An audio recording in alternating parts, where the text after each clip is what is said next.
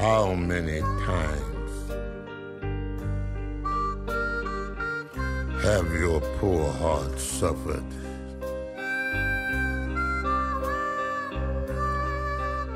The miseries of torture and pain.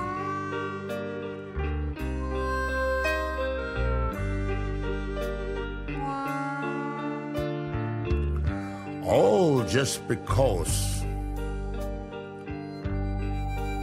of this poor understanding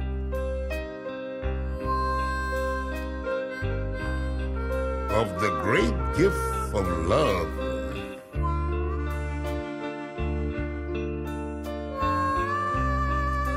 that God gave to man.